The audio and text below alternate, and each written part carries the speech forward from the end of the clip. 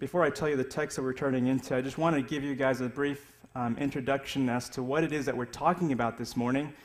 And that is what does God have to say to singles? What does God have to say about singleness? So I see that some of our single guys and girls are pulling out their pens and papers and they're ready to, they got their tape recorders out, ready to record every word that comes out because they could use any and every help that they can get to figure out how can they solve my singleness. God, can you help me? Um, and, uh, and as I say that, I know that society has a lot to say about what it is to be single, all right? You hear it loud and clear from family, from friends, from, from the media. What does it mean to be single? What is, what is the opinion people have about singleness? One school of thought is that singleness is a license to be free. It's a license of freedom. You can be free to do whatever it is that you want, hang out with whichever guy or girl you want, do whatever it is you want with them, and there's no repercussions, there's no one over your head, there's nothing you have to worry about. You're free to do what you want. Singleness says is that it, it's something that is to be envied, it's something that is to be desired, it's freedom. And so it's like living in a dream that you love, and, and, and any thought of commitment, any thought of marriage is a disruptive nightmare to this amazing dream of being single. Right? That's one school of thought. All right? And then there's another school of thought that's actually at the opposite end of the spectrum. This school of thought says that singleness is something to be ashamed about. It's something that brings about embarrassment. And friends, family will often say, Well, you're single. And as time goes on and you're getting older and you're still single, they're looking at you and saying, or asking, What's wrong with you? All of your friends have already gotten married, and I hear this person's pregnant, and here you are, you still are single. What's wrong? What's wrong with you?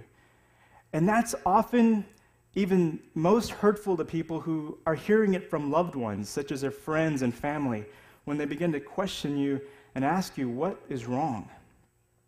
And as they continue to, to press and prod, you're, you're, you're wondering about what God thinks of you. Is something wrong with me? Am I, am I flawed? Am I messed up? Did God screw up with me? That I'm still single even now at age what, whatever the age is. These questions linger, and these are two contrasting schools of thoughts. One says singleness is to be envied, by all means, guard it like a prize. And the other school of thought says singleness is a shame. You should be embarrassed if you're not married and have children by a certain age. And I want to tell you, first and foremost, what God has to say about singleness is not in line with that. God's message to singles does not correspond to what you just heard me say. It's completely different and it's completely foreign to that. And I really want to encourage you, those of you who are single, to understand this. Is as long as you turn on that radio, as long as you turn on that television, as long as you listen to everything everyone says to you about your singleness, the more and more likely you are to succumb to what they're telling you. What God has to tell you, it's in this book. It's in His Holy Spirit. But if you're not listening, if you're not reading, then you're not taking in what He has to say to you about your singleness. And so, more than likely, you're going to become more and more susceptible to feeling what society is trying to tell you. So, I want to encourage you to do as much as you can to listen to what God has to say. This morning, I'm going to talk about singleness probably through a passage you've not heard it tied into before. I'm going to talk to you about a person who was once married but yet felt the tragic loss of, of her husband dying.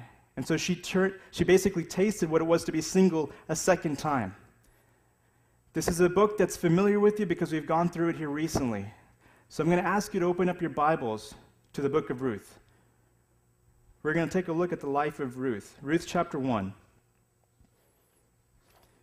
As you guys are turning there, or as you guys are opening up your smartphones and doing that Bible app, whatever, um, you guys, um, I'm going to remind you real quick that Ruth is a Moabite woman.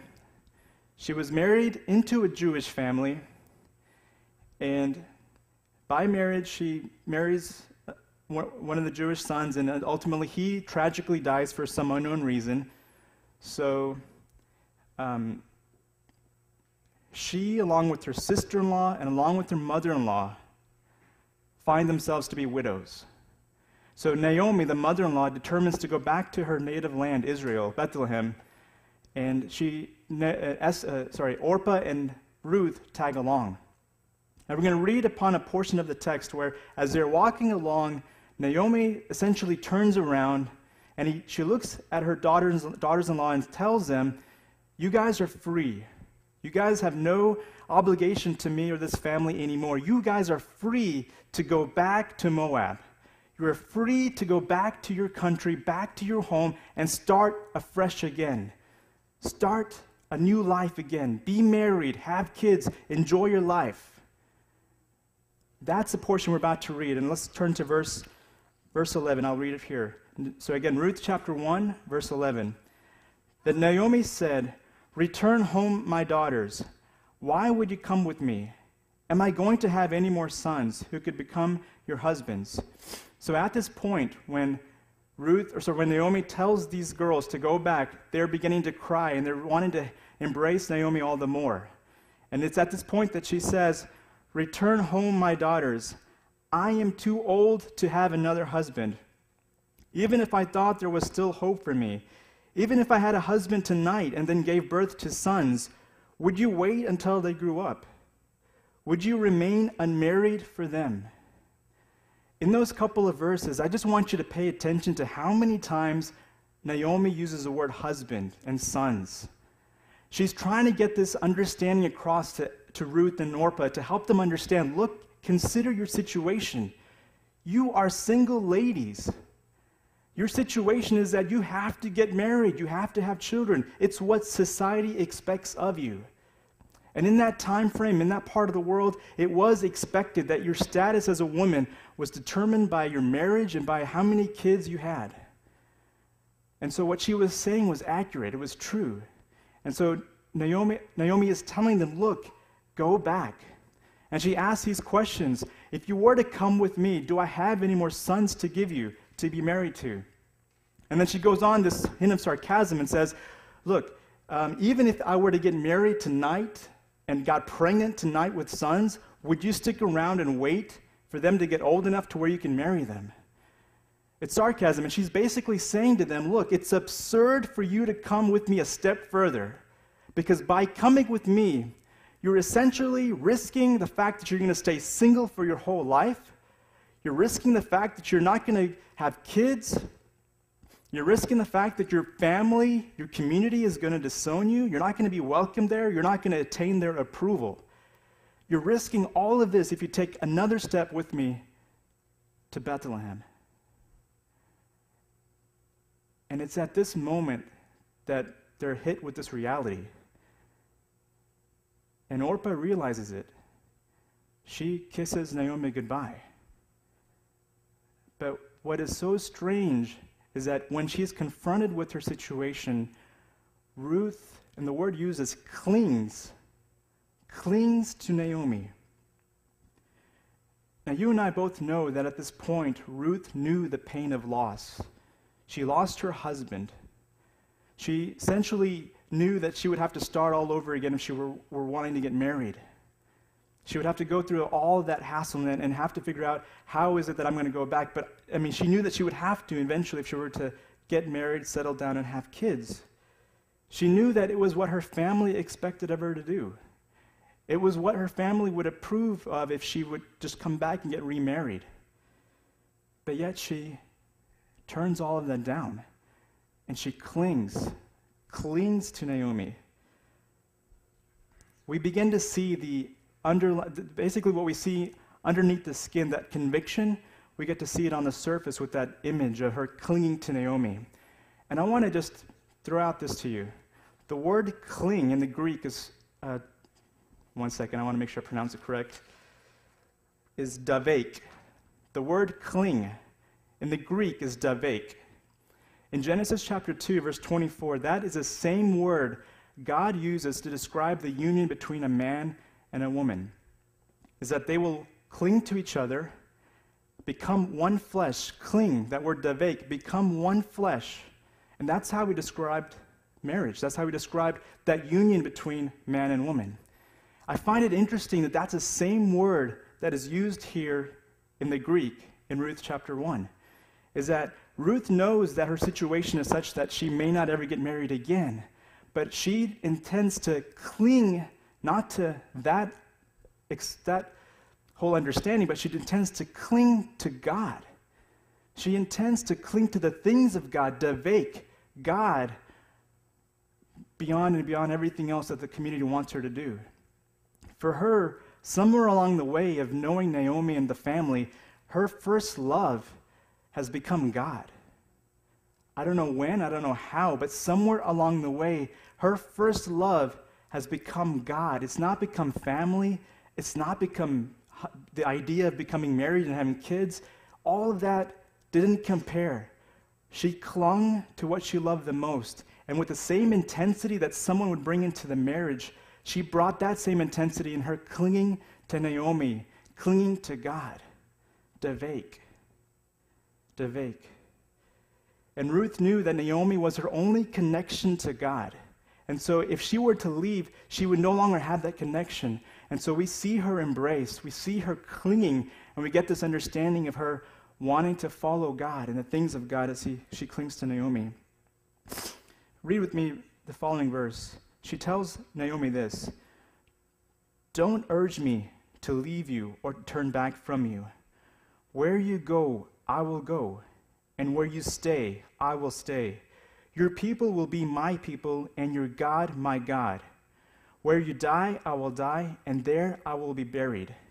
May the Lord deal with me be it ever so severely, if even death separates you and me. It's amazingly strong words from a girl as she stares her mother in law in the eye and says these things.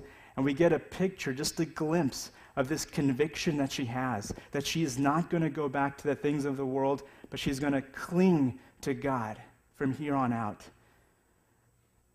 One of the most basic principles that we have to understand about being a follower of Jesus is this we love God with all of our heart, all of our mind, and all of our soul. That is the single most basic principle, commandment that we live by. Jesus was the one who said it. This is the first and most important commandment is that you learn to love God with your entire being. This conviction is what separates Ruth from Orpah. It's what separates Joseph from his brothers. It's what separates Daniel from the other teenage boys. This conviction of loving God with their entire being. Purpose provides us an understanding of what something is and what and the attention it brings to its creator. Purpose is something that we understand about something of how it functions and the attention it brings to its creator. For example, this microphone that I'm using right now this morning, you know, its function is to project sound across these speakers. And that's its function. It's not here to make ice cream, it's not here to make pizza or project the football images on TV, although some of you might wish it did. It doesn't do that right now. All it does is it projects sound. I can't expect it to do anything else. That's its purpose. That's the, the intent of its design is to project sound. And so when you're coming in and you're, you're, you're somebody who is really into sound, and if you're interested in trying to figure out what's a good microphone, you listen to this. And, and the way that this thing performs, you pay attention to it. And if you like it, you're going to come in and try to find out the brand of this microphone. You're going to try to find out who makes this microphone so that you can inquire more about buying it.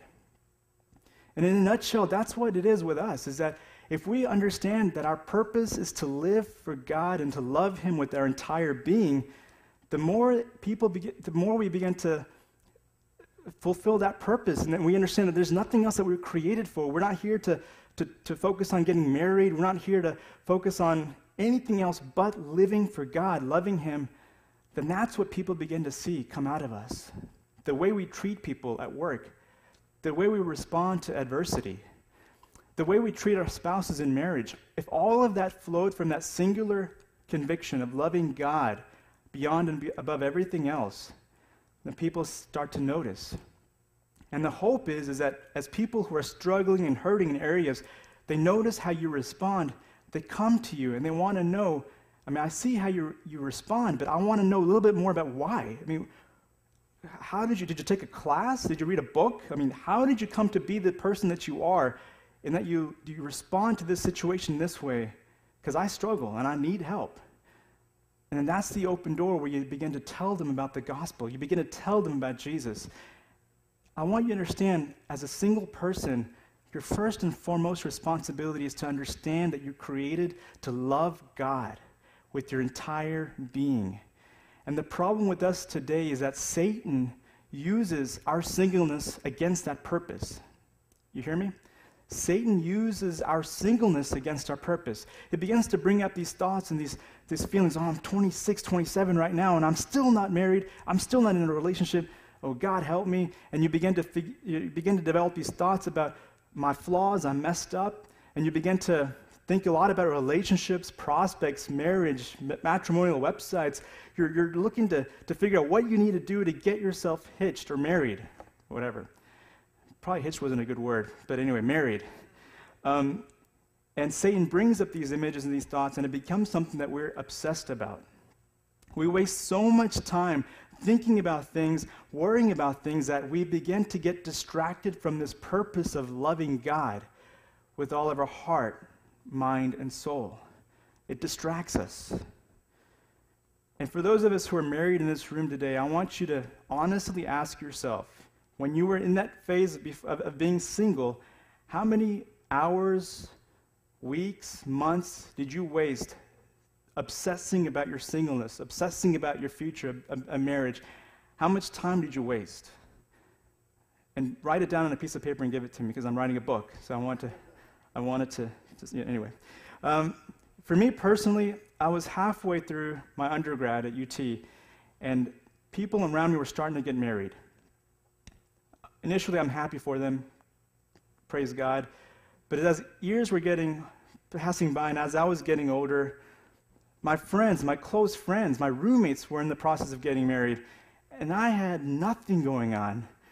There was nothing whatsoever about me in a relationship or getting married. And, and my be- one of my best friends got married as, before I even graduated, I believe. And I'm thinking to myself, oh my goodness, what am I going to do? And I began to worry. I began to get afraid and anxious and obsessed about this whole idea of marriage. And then all of a sudden, I'm looking up Shaadi.com like crazy Never got an account, but man, I was looking to see what was out there, and you know, I don't know, I was desperate. And then I ended up, you know, in relation talking to girls, you know, that awkward thing where you're like, is there some magical spark going on here? Is she the one? Oh God, help me, God. And then you start to begin, your mind goes all sorts of different ways that way. And then uh, as you get older, your parents get more involved and they're looking to see, look, you're like 26 and you're still not married. And then that's another added pressure. So all of this builds up and you're obsessed, you're worried, you're afraid. I met my wife in August of 2005, all right? Looking back, I probably wasted significant chunks of seven years of my life worrying, obsessing about marriage and about singleness. That's seven years of my life that I worried about things that I that nothing of that helped me in August of 2005. Seven years. I want to encourage you guys who are single today. I want to spare you the pain and the misery of what I had to go through, or maybe other folks had to go through. And I just want to simply tell you just embrace the purpose God created you for. Embrace the reality that that's your conviction, that's who you are, and that's what you're about, is that you love God with your entire heart, being, and soul. Don't do it I mean, don't think of yourself as, as being created to get married or being created to be a dad or mom. That's not what you're created for. You're created primarily for the purpose of loving God. Be about that. Focus on that, all right? And I love how Ruth, I mean, she knew that the reality was is that she could remain single for the rest of her life, but she knew that she wasn't created to be married. She knew that she was created to love and honor God. And so she refused to go back to Moab, and she, she clings to Naomi, and she says these words Where you go, I will go. Where you stay, I will stay. Your people will be my people, and your God, my God. Uh, moving on to Ruth chapter 2, uh, just reading, I'm going to read verse, verse 2. In Ruth, the Moabite said to Naomi, Let me go to the fields and pick up the leftover grain behind anyone in whose eyes I find favor. So, throughout the story of Ruth, it's only four chapters long, there is no hint of regret in Ruth's actions. Ruth never for one moment is there any sign of it showing us that she regrets her decision to follow Naomi, follow God. She's not thinking, oh my goodness, I should be married, I should be getting back to, to Moab. None of that goes on. And we get this amazing picture of her just getting up one day and telling herself, look, I'm just going to go to the field because we're, we don't have any food. Let me go get us some food. Let me gather some grain. And the next thing I want you singles and to understand is that one, you love God with all your heart, mind, and soul. Number two, you live in the moment. You stay in the moment. All right? So she realizes that she and Naomi need something to eat. And so she goes out and she begins to go to a certain field of a relative and she literally just on her hands and knees, she's gathering grain that has fallen on the ground when, from other people who have tried to gather the stalks. There's grain that's on the ground and she's just literally just going through the grass, sifting through and putting grain in her little bucket. And so the reason I bring this up is I want you to get that image, all right? Here we have Ruth, a Moabite woman who, under the scorching heat of the Middle Eastern sun, is working her tail off gathering grain so she and her mother in law could have some food to eat. And I wonder in my mind, what are the thoughts that are going through her brain right now? As she's getting hot and sweaty and dirty, and her body is aching from the heat and the pain of bending down, is in her mind, is she going back to Moab? In her mind, is there even a hint of regret, wondering what it would be like right now if I had gone back? If I had gone back, wouldn't I have gotten married by now? Wouldn't I have gotten the, the, the glory and the respect of my family by now if I just went back? My parents, they would approve of me. My siblings would approve of me if I just went back. I could bask in the glory of being a mom.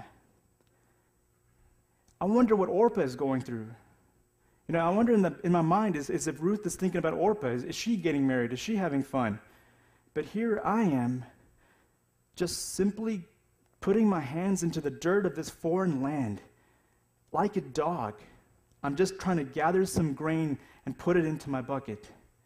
And not to mention the other Israelite men who notice her being a Moabite woman, the taunting and the ridiculing that she's having to go through, literally even being spit upon for being a foreigner in their land. What is Ruth thinking about?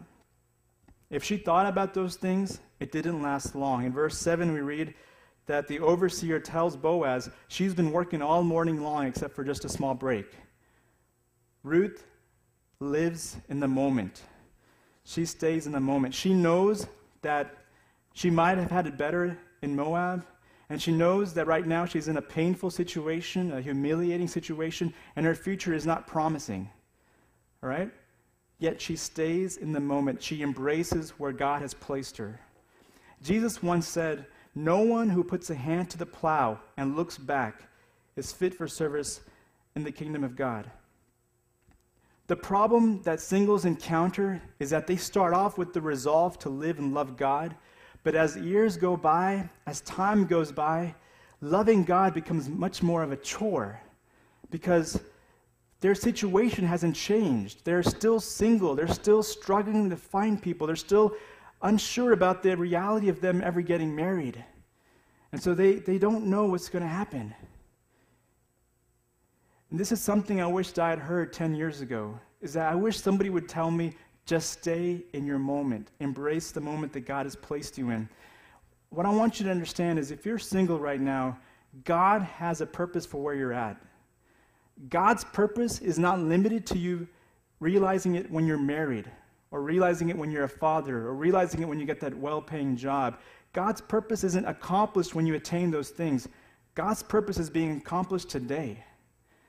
And where you're at right now may not be where you're at a year from now, or even five years from now. The people you're involved with right now, you may never speak to them a year or five years from now. So, why has God placed you where you're at right now? your job, your school. There's a reason and a purpose, and only you and God, God knows that. And it's up to you to embrace where He's got you. All right? It's, it's up to you to embrace that. Back when I was single, I took two months to go on a missions trip. I'm 33 now, I am I'm married, and I have a 15 month old. For me to think about taking two months off is foreign to me, all right? But instead of that, I get to enjoy raising my little baby girl, which is, she's pretty cool. She's pretty amazing. And so, what I'm trying to say is, God has you at different places for different reasons, and you need to live in the moment God has placed you in. Rather than obsessing about, oh, I've got to get here, then I'll make it before God. No, God's got you where you're at for a reason right now. Embrace it. Even if it seems discouraging, even if it seems like you're alone. I mean, Ruth felt it too, yet she embraced where she was at, and she fulfilled God's purpose. I love how, towards the end of Ruth chapter 2, Boaz takes notice of Ruth. And he begins to bless her and tells her, Look, you don't need to go to any other field. Just stay in this field. You will be protected, you will be well provided for. And what I want you to understand as singles is this is that as you learn to live for God and His will as a single, God is essentially taking notice and He's telling you, just stay within the field of my will. Just stay in the field of my will for you. I will protect you. I will provide for you. I will fulfill the promises I have for you as long as you follow me and stay within the field of my will. God takes notice. And the story uh, continues on in Ruth chapter 3. I'm not going to read any text, but I want to talk to you about some things that Naomi tells Ruth to do for her to get married to Boaz. All right? And I'm, I'm going to talk to you through steps. Right? These are the steps that Naomi tells Ruth to do in order for her to get married to Boaz. Step number one wash and put on perfume. It's logical. Do we want to get, you know, meet someone and smell like BO? It's not good. Number two, get dressed in your best clothes. Yeah, sounds good too. Number three, go to the threshing floor. Now, for those of you that don't know, threshing floor is where the, the wheat is gathered and they're basically separating the, the wheat from the chaff. It's not the ideal location of a first date, um, but we can work with it. It's fine. Step three is go to the threshing floor. Step four, don't let Boaz know where you're at, but just kind of stalk him, but kind of from a distance. And when he lies down, you just, just go to his feet. Um, okay, this is odd. I don't know of any book that I've read on about dating or you know getting courtship or whatever that tells me that I'm supposed to stalk my future spouse, that I'm supposed to notice where she lies and go to her feet. That seems kind of odd and strange. It's weird. But not just that, step number five, after he has lied down, go to his feet and uncover it and simply lay down at his feet. Okay. So not only am I supposed to stalk him, I'm supposed to go to his feet, I'm supposed to uncover his feet, and I'm supposed to lay at his feet. So here I am smelling his stinky feet, waiting for him to wake up. Is this the way?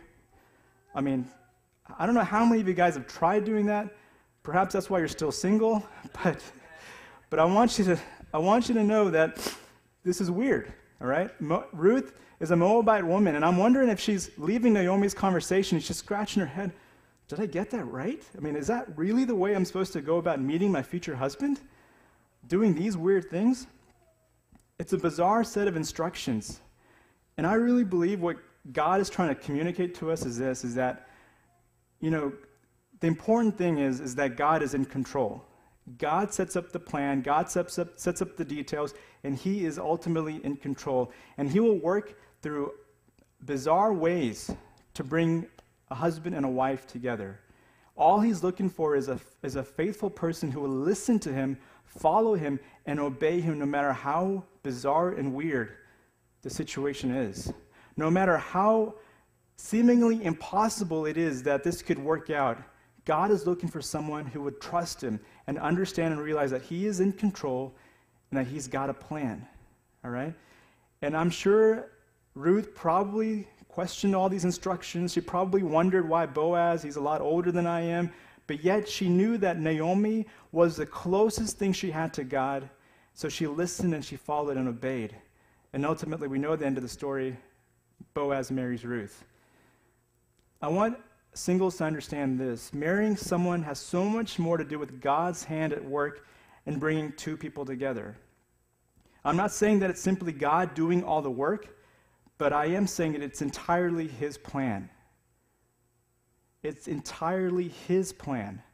So, just as God has planned out your life, He's written every day down in a, in a book, and He knows exactly what's going on in your life. The same thing applies to your marriage. God knows when, God knows how. It's up to us just to submit and, and walk with Him, follow Him. And you might sit here this morning and you're like, Jason, I screwed up so much with my life. I messed up here, I messed up there. Well, we serve a redemptive God, a God who redeems, a God who, his whole mandate is the cross and is, is the redemption. So no matter how badly you've screwed up, as long as you repent and follow him and love him, he will lead you, he will take care of you seemingly unforeseeable and unexpected ways God can use. I want to share with you my story. Um, it's really weird and bizarre as well. Um, I can't share you the whole story because I don't have enough time, and we're running short, short on time. So I'm going to share you just a small snippet I wrote down.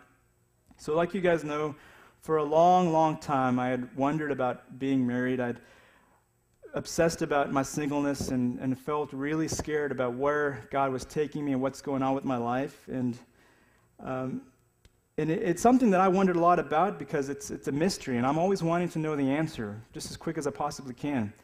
God didn't work that way with me. It took a long time for me to figure things out. And I remember I was, it was the night of August 2nd, 2005. My parents and I shared a room in Delhi, in India. They were asleep and I was awake. And I had gotten the picture of this girl who came across uh, to me about a week, not even a week before. And you know, I'm uncertain, I'm unsure because, you know, the only reason I went to India to meet someone in the first place was to appease my parents. And I was tired of their nagging me, I was tired of them bugging me. So I went to India really to enjoy some good food and, and really to go back, you know, maybe meet some people along the way. But definitely, I told my parents, I will not make a decision. I'll meet who you want me to meet, but do not expect me to make a decision saying I'm going to commit, I'm, going to, I'm, I'm promising. None of that's going to happen. My friends who, who left me back in America told me, do not do that. Do not make a gut reaction about getting married to somebody. It's not going to happen. So I knew that wasn't going to happen. So on August the 3rd, 2005, we landed in Kerala. I went to this girl's home. I, you know, her parents were there. It took us about 45 minutes to realize that we're supposed to ask for, for the girl, and so my parents didn't realize that. So we were just simply, I was just sitting there in a room for 45 minutes waiting to meet this girl and yet making awkward conversation with people I don't even know. It was really weird, really, really hard. So my parents finally get the picture that they're supposed to ask for the girl. So the girl comes in, and she sits across, and um, so yeah, the girl is Elsa, of course. Elsa walks into the room, and uh, she sits across, and I remember thinking that she doesn't look anything like the picture that I got. She's actually beautiful. she was beautiful, and um, you know, and actually, I don't know if Roy remembers this, but Roy and Joyce, I sat with them about the week before I left to go to India, and I, I asked them for help on how to question, what kind of questions I need to ask somebody when I meet them for the first time. So I, and I'm from a psychology background, so I had a whole battery of questions that I asked. So it took me about an hour of just me asking lots and lots of questions. So I came back with a, uh, an understanding that not only was she beautiful, but she had a heart of gold. And so I realized then, you know, seven years later, she still is beautiful and still has a heart of gold. Um, but here, what I realized was, was I was a guy who was defiant, and I said, God, I'm not going to do this. I don't know why you brought me here. I said I would never agree. I told my parents a million times I would never agree to get married to somebody just on, the, on a whim like that. But yet I felt a sense of God, God's peace. And I never met anybody else. That was the first person I met, and she was the one I married. And I made that decision right then and there, which was bizarre and crazy, but yet I believe it is God's will. God works in crazy, bizarre ways to bring things about. Ten years ago, I probably would have never envisioned that happening. And I wish I could tell you all the twists and turns that took place for this to happen, but I only want to tell you that it's all God. It's all God bringing, it's all God's glory. It's all for Him, in that He works things in weird ways. And as Ruth can testify to it, she slept at someone's feet for for some time before she married that man. I mean, these are weird things that God calls us to do, but yet, as you walk with Him, it's God's plan. It's God, that, it's God who's at work. So, this morning, as I close, I, I, I want to remind you of some of the things that we talked about. We talked about the story of Ruth, and we understood that Ruth was a woman of conviction and purpose. She knew that her purpose on earth wasn't to get married, but it was to love God with her heart, her mind, her soul. We understand that Ruth was a woman that didn't freak out when things didn't go her way, but that she embraced the moment that she was living in. She was faithful to God. And number three, she ultimately trusted God and knew that He was in control and that He would work out the details of her life. Even though it was bizarre, even though it was weird, it was Ruth who trusted that God was at work, and ultimately God blessed her. This morning, I just want to just piggyback on one point as we close, and I just simply want to state this to you guys who are single, and especially even to those who are married, is understanding the purpose that you're here on this planet. It's beyond your marriage, it's beyond being a dad or mom. It's simply this to love God with your entire being and understanding that there are many things on this earth that are going to try to compete for that focus, that's going to compete for that purpose, but yet you have to have that resolve, that purpose, and, and just continue to fight through this purpose that you love Him with your entire being. And allowing everything about your life, the way you treat yourself, the way you treat your spouse, the way you interact with people, everything that goes on from within your body has to be out of that purpose of loving God with your entire being. And like I told you before, the purposes of God are realized. People begin to note that God is the center of your life. And like the microphone, when someone's trying to figure out, you know, how does this mic, you know, is this a good microphone? And they think it's good, and they want to find out who built it and who sold it and who makes it or whatnot. The same way, people are going to want to know who or why are you acting the way that you do and you get a chance to point them to Jesus. Uh, this morning, as we, as we close, I'm just going to talk to you a little bit as we, we're about to get into communion. And so I want you, I want you guys just to, to bow your heads with me and, and to close your eyes as we reflect upon Jesus. And, and I want to tie him into what loving God is all about. You know, he is the one who was the perfect example of what it was for us to, to see what it means to love God with your entire being.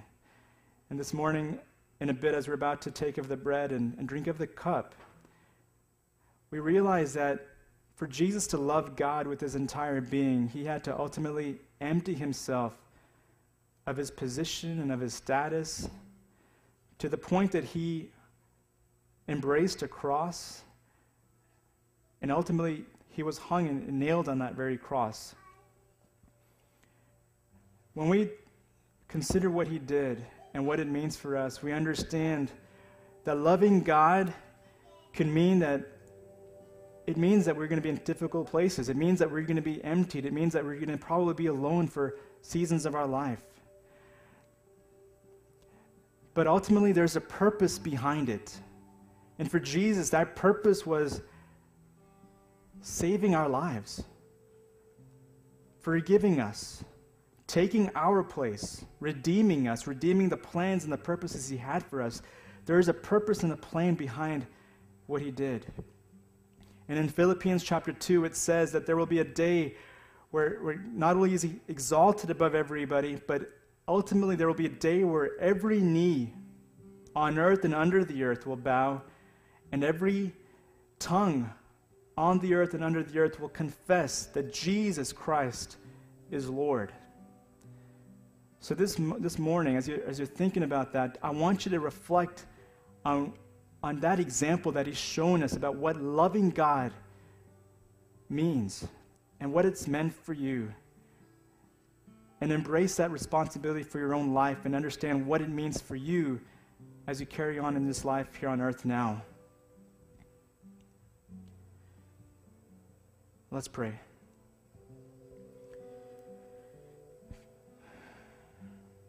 Father, we, we just love you and thank you, God, for just the amazing example of Ruth's life.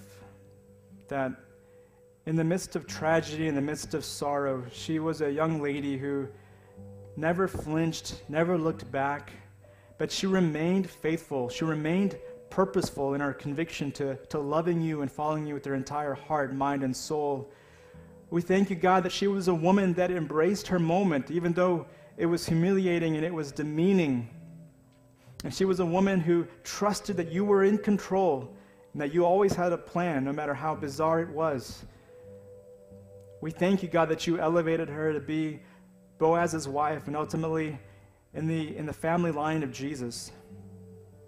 We thank you, God, for the example that we have in Christ and that how he loved the Father, loved you with his heart, mind, and soul, and ultimately he was emptied upon to the point where he was dead on a cross to save us.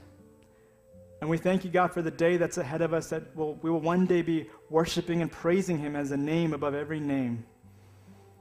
And for here, for us right now, I, I pray for our singles. I, I, especially remember them, and I, I ask that you would remind them that they are created for the simple purpose of loving you with their being, that they are to embrace the moments that you've given them right here and right now, and that they are just simply to trust that you have a plan and that you are faithful to complete that plan.